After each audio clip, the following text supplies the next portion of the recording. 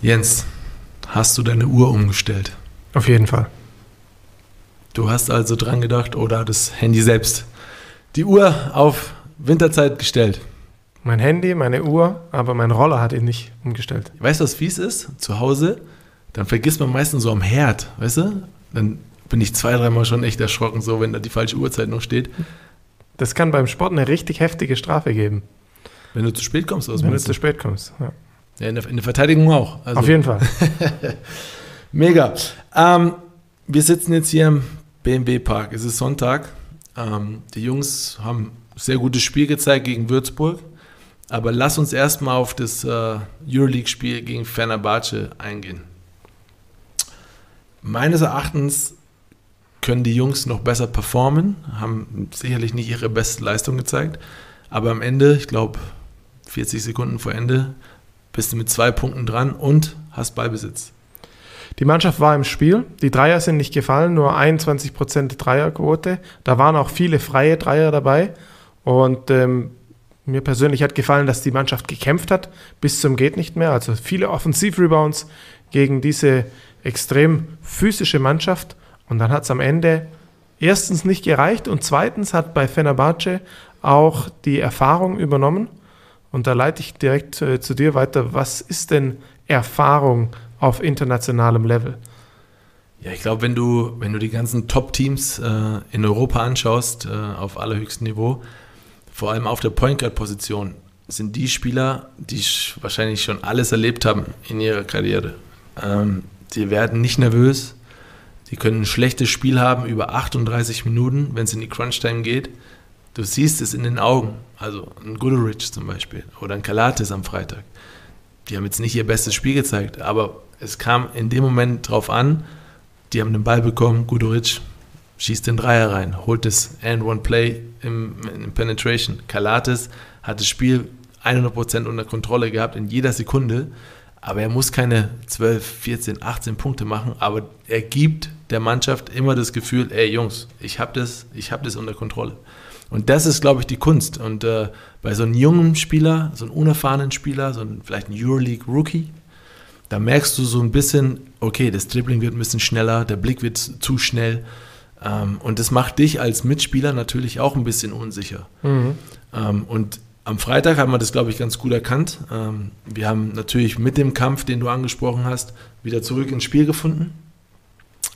Aber die Überzeugung am Ende, dieses Spiel dann noch gewinnen zu können, war auf Seiten Istanbuls. Ja, es kommt natürlich auch dazu, dass du hast eigentlich gutes Momentum gehabt im ersten Viertel und dann kommt auf einmal ein Scotty Wilbekin rein und der haut ansatzlos drei Dreier aus längster Distanz ähm, in den Korb. Äh, wie geht man sowas als Spieler an, gerade als Rookie, wenn man neu ist? Wie geht man mit diesen äh, Unwägbarkeiten, dass einer einfach einen schwierigen Wurf trifft?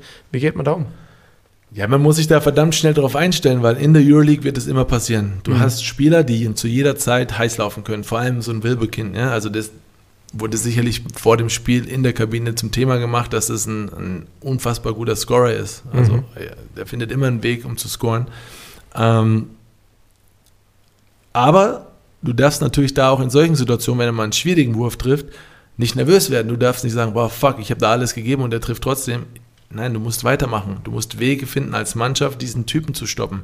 Und auf allerhöchstem Niveau ist es natürlich auch schwer, so einen Scorer, wenn du hast in der Mannschaft oder bei den, bei den Gegnern, äh, kannst du nie komplett ausschalten. Aber du musst als Mannschaft eben diese Ruhe ausstrahlen, sagen, hey, we got this shit, you know, mhm. wir haben das unter Kontrolle. Ähm, was aber ein großes Thema ist, du hast es nur kurz erwähnt, die Dreierquote in der Euroleague. Ja. Ähm, die Jungs kriegen es aktuell nicht hin, in der Euroleague die Prozente aufzulegen, die sie in der Bundesliga schießen. Woran liegt es? Also meines Erachtens äh, geht es in der Euroleague natürlich alles nochmal einen Tick schneller. Mhm. Ja, du, musst, du musst den Ball vielleicht ein bisschen schneller loswerden. Der Verteidiger hat eine Armspannweite vielleicht 4, 5 Zentimeter weiter als der Bundesligaspieler. Mhm, mhm, und das sind halt die Sachen, die natürlich auch im Kopf mitspielen. So, wow, der hat zwar ein bisschen den Abstand wie in der Bundesliga, aber der kann da vielleicht noch an, an diesen Ball rankommen. Und natürlich, Spotlight ist an, der, der Druck ist hoch. Äh, wir sind noch immer frisch in der Saison, neu in der mhm. Saison. Rollenverteilung ist noch nicht ganz da. Ähm, und vielleicht auch, ich meine, bei Andy, ähm, der hat zwei offene, ganz offene Dreier daneben gemacht. Ja, passiert macht, eigentlich nicht. Das macht natürlich auch was mit einer Mannschaft so. Ey, unser bester Schütze, der beste Schütze Europas, der trifft diese Dreier jetzt gerade nicht. Damn, jetzt muss ich da Verantwortung übernehmen und diesen Ding da, den Ball da oben reinwerfen. Und ich glaube, das macht schon was mit einer Mannschaft. Hm. Du hast gerade Armspannweite angesprochen. Die hat uns beim heutigen Spiel, also wir zeichnen Sonntag direkt nach dem Spiel auf, ähm, die hat uns geholfen, weil wir haben sehr viel im 1 gegen 1 verteidigt und die Würfe von den Würzburgern sehr schwer gemacht. Wieder eine sehr gute Defensivleistung. Äh, unter anderem Sergi Bakker, der im Switch dagegen Livingston verteidigt hat. Deine Eindrücke, was denkst du zu dem Spiel? Wie, wie hat es die Mannschaft heute gemacht? Ja, der hat es wieder gut gemacht. Also ähm, ich glaube, ähm, das war ein, äh, ein, Sieg, wie man sich ihn wünscht, glaube ich, in der Bundesliga. Mhm. Ähm, da siehst du halt auch den Unterschied zur Euroleague. Ja? Also da sind wir quasi der, die, die Mannschaft, die Euroleague quasi Erfahrung mitbringen. Die Würzburger müssen sich auch natürlich auf uns irgendwie einstellen und solche Gegner tun sich natürlich schwer, wenn wir länger sind, schneller sind, dynamischer sind, athletischer sind. Ähm, aber das hilft uns ja jetzt auch nichts. Wir müssen ja jetzt mal gucken, dass wir da in der, in der Euroleague, jetzt stehen wir gerade 2 zu 3 da, also zwei Siege, äh, mhm. drei Niederlagen. Und es kommt ein November auf uns zu mit zehn Spielen in der Euroleague und sieben davon sind auswärts. Insgesamt, also zehn Spiele sind es und insgesamt äh, sieben sind auswärts, also nicht nur in der Euroleague. Ähm, wir spielen direkt in Belgrad bei Roter Stern. Die haben ihren Trainer bereits gewechselt. Svairopoulos ist jetzt dort der Head Coach. Die stehen mit 1 zu 4 mit dem Rücken an der Wand und jetzt darfst du dort in diese äh, Stark Arena mit, wie viele Fans sind? 18, 19, 20.000.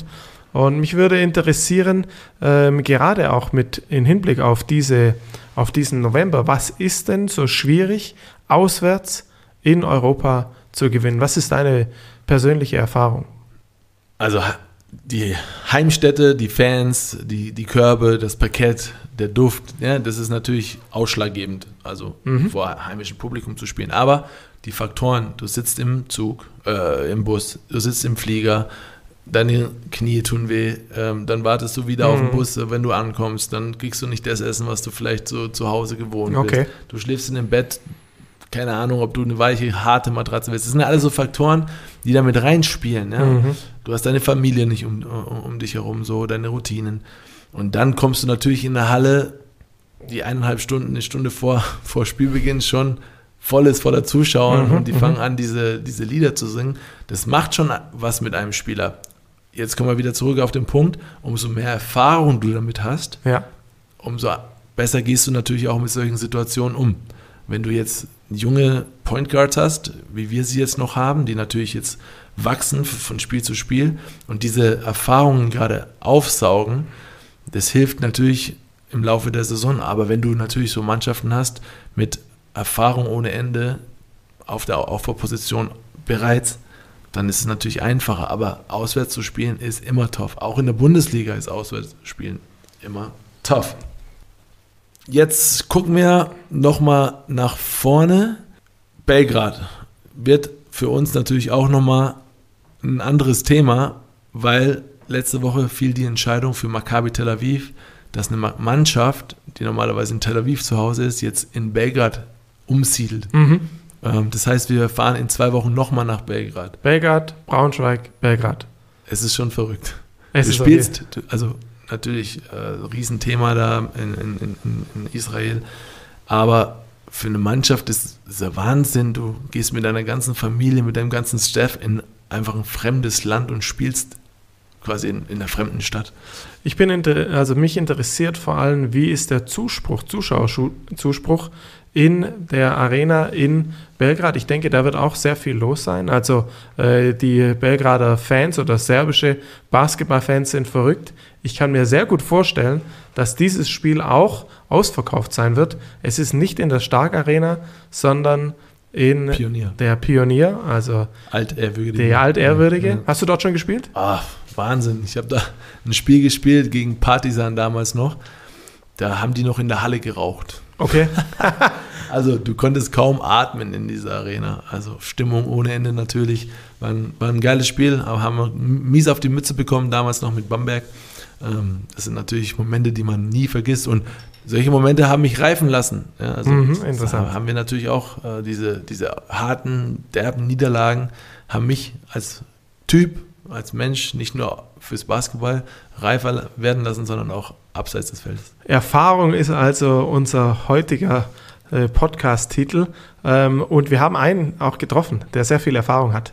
Chevy Troutman. Oh, haben wir fast vergessen. Am Freitag, äh, es war wirklich wundervoll, Chevy nach mm, pf, ja, zehn Jahren jetzt äh, äh, wiederzusehen. Ähm, da hat er damals äh, drei Jahre hier mit mir zusammen gespielt in München. Absolute äh, Legende, Publikumsliebling hier in München. Wurde mit offenen Armen hier empfangen. Viele Fans haben sich gefreut, ihn zu sehen. Ähm, was er zu, zum Spiel und äh, zu der Entwicklung der Euroleague zu sagen hat, das hören wir uns gleich nochmal an. Aber auch, dass er gerne für die FCBB All-Stars gewählt werden würde. Also denkt da mal dran, vielleicht habt ihr da so eure Starting Five, die ihr gern wählen würdet.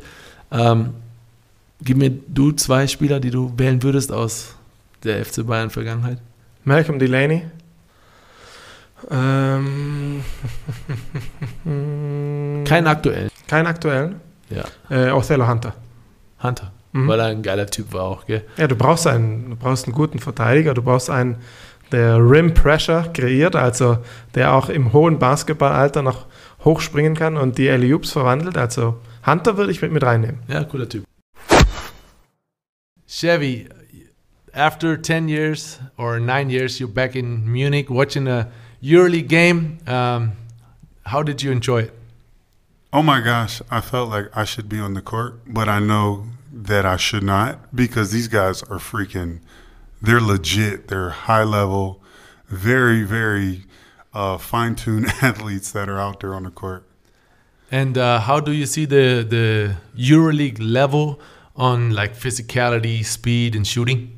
Oh, tonight's game, everybody seemed like they was all locked in, like they knew what they was doing. There was a whole lot of professionals on the court, and you knew they was there for for business. And what makes the difference? Why Fenerbahce took this win out of the BMW Arena today?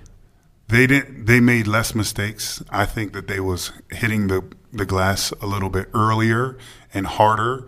FC Bayern came back, in my opinion, and hit the glass later. Gave way more efforts when they could have given up the game, but they fought back every chance they got to come and have a chance to finish out the game. And you heard about the FCBB uh, All Star voting. Uh, who would be your favorite uh, teammate to play on this uh, FCBB uh, All Stars? Oh my gosh, there's so many. Can you? Name one or two of it. Um, Malcolm Delaney's up there. Uh, Tyrese Rice also. You're freaking up there too. There's so many choices, man. It's hard too because we have the legendary team that's the first champions. I could pick every single one of them, but there's so many other players after. But we have we have a ton to pick from But why fans should pick you, man? because I'm your number five.